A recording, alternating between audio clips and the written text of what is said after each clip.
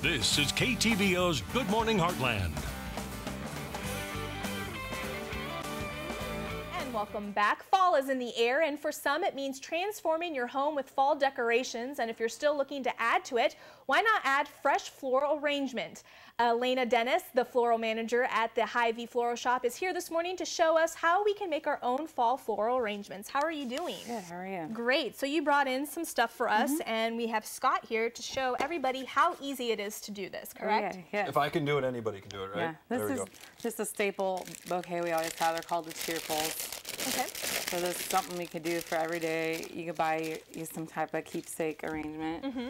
Um, this is the easiest way. Okay. just- Just snip right about. Is there a certain point at which we want to snip? Like, uh, Uh, you want your flowers to be, you know, they say uh, the vase and a little bit higher, Little bit or higher if you want kind of a roundy moundy type, Okay. you can do that if you now, want do to you try always want to always want to cut something off the bottom of them? So even if your vase is really tall, you, still want to cut? Yeah, you would always want to cut fresh flowers when you put them in water, and then they get a fresh drink of water, Sure. and they And, soak I, up and I hear cut them at an angle or no? They say an angle, um, just so the, the stems aren't flat on the vase. They get a little bit more water. And this cuts the whole entire thing. Uh-huh. Let's chop it across there. Come on, muscles. There you go. Come on. I don't work with flowers down. very often. okay. So there you go. And you said you can use any kind of vase that you have around the house vase, or any uh-huh. kind of sort This of is decoration. Easy that you could just keep refilled all fall. Oh, these smell And wonderful. We have these little leaves that we take floral tape and we go ahead and wire them and have those ready all the time. And this is something you can just kind of shove in around. These are just You wired wanna- up fake Uh-huh, you that, want to stick a few in there. nice. Go up And the they are these there. are preserved leaves that, that we get in. so question for you. Uh-huh. Uh, right now there's no water in the vase. Do you want to add the water before or after we would you add it before. before? usually, Okay, I just wanted to make sure, you know, you never know. Uh-huh. There you So- go. Great. Great job. Thank you. Thank you. And if you wanted a little extra, we, you know, you can get fillers or this is called seed eucalyptus, and you can stick a few of those in there. And this there. is something common anybody can really pick up, Yeah, I mean, you can just stick whatever you want in there. If you've got leaves out in your your yard uh, off branches, you can kind of try that. Now, of course, if I'm, uh, you know, being a not very familiar with flower kind of person, if I go out to Hy-Vee, you ladies can probably help me out pick out Uh-huh. Yeah. a few things. We can Do help you, you do you out. have fall um, flower arrangements already pre-made for people to buy? Yes, we or have a cooler full of different ideas and things, and you can pick out whatever flowers you'd like, and we would make up for you too as well. okay. I feel so artsy right now. I Like this know. is, you know, you ever do something, and you're like, I could never do that. You get it all done. It's not as hard as you think Yeah, sometimes. it, it really isn't.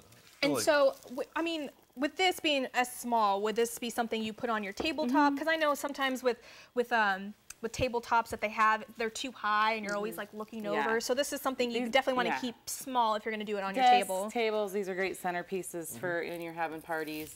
Yeah. So you can line them up, you know, two or three at a time, different colors, different vases. And this is just to Yeah, maybe just add tie a it around. I got a ribbon. You see if you can tie a bow. Now, is this it- is gonna look real good. I can tell you that right Is now. there a secret to maybe you know keeping flowers last a little longer? Uh, there is preservative. They come in the packets with your bouquets, or certainly ask for them. You know, you can change the water frequently. It This always right helps here? them last a little bit longer. Yeah, Top fresh. Okay. top fresh. You'd want to put a little, and it has directions of how much to put in there. Look at that bow. I gotta, There you I gotta go. say, You've got that it bow is pretty mastered. awesome. Ah, now we're gonna have to do a side-by-side comparison so the Heartland can vote. Which one looks better? This one? or or Ela's? I'm still think- working. I noticed you're struggling with the ribbon that doesn't look as good as. well, that's because I'm looking at our screen right now and tying the bow. I did the same thing, and Yeah, mine looks yeah, yeah. amazing. There you go. There you you like go. Okay, messy okay, raffia. yeah. That's the new artsy thing. It's It kinda is, messy, it isn't is. The, the, the feng shui, right? Yeah. Yes. These aren't really Yeah, scissors, aren't but really that's okay. I got the muscle.